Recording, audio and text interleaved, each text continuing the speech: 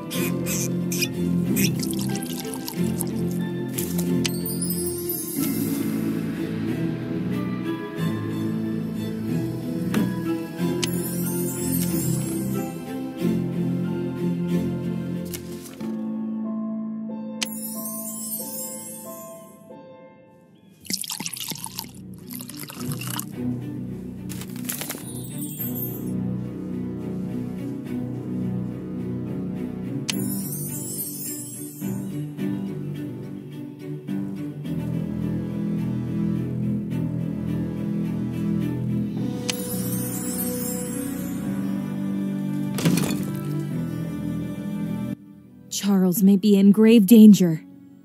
That dwarf is up to something.